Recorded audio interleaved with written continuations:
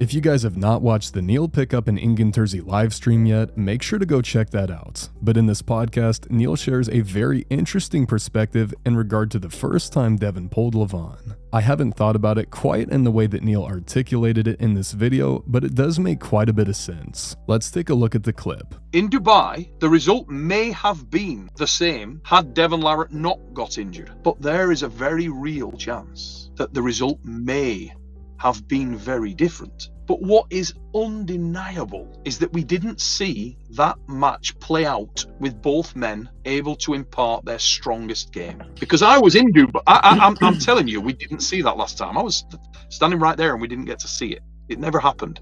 The match hasn't happened yet oh, but it's gonna. One of the things that makes a match so much more exciting is the idea of the unknown. And I think that as this match gets closer and closer, we may have gained some clarity as to the level of Devon, but really, if we look at the match as a whole, we don't have much of a clue as to either guy's level. Devon has blasted through pretty much everyone he's faced over the last year and has yet to find a balance point with one of his opponents in his open top row lane that would give us an indication of his max level. And Levan, on the other hand, has been recovering from an injury this this entire time, and we haven't seen him posting any training videos that reveal his current level. So is Devon currently 1% stronger than his former peak? Is he 20% stronger? I have no idea. Is Levan 20% weaker than his former peak, or is he 20% stronger? Again, there's really no way for me to gauge this, and initially this would have been a bit disappointing for me in the build-up, but the more I've thought about it, this has actually become one of the things I love about this match. In so many of the matches we've seen with these guys over the last few years, we kinda knew the outcome before it happened. And a lot of that was based upon their previous proven levels. And the point that Neil is making is that the only real moment we had to gauge how close Devon and Levan are to each other is 2 seconds in round 1. Once Devon is injured, he's a totally different person. It's almost as if we saw two super matches that night. A one round super match between Devon and Levan that left us with so many unanswered questions. After this, we saw a 5 round super match between injured Devon and Levan in which we didn't need any answers to begin with. Another thing Neil talks about is the potential of a reversal in this match, a situation in which this time around Levan's wrist does not hold up. In this case, we would still be left with so many unanswered questions, which would be super unfortunate for multiple reasons. The point of all of this is to say that the result of the match is not really the main point. The whole point of this rematch is to finally get these questions answered that we've had for the last two years. What would have happened if Devon didn't get injured? If Devon stops Levan, can Levan still just flop press him after this easily? Does Levan have the ability to climb up over a King's move as well as someone like Ermes? And would we eventually see a double King's move? The only way for these questions to be properly answered is for both of these guys to come in strong and healthy and remain uninjured throughout the duration of the super match. And that's really all that I care about in this match. As long as the match goes the full distance and our questions are answered, I'll be happy with either guy winning.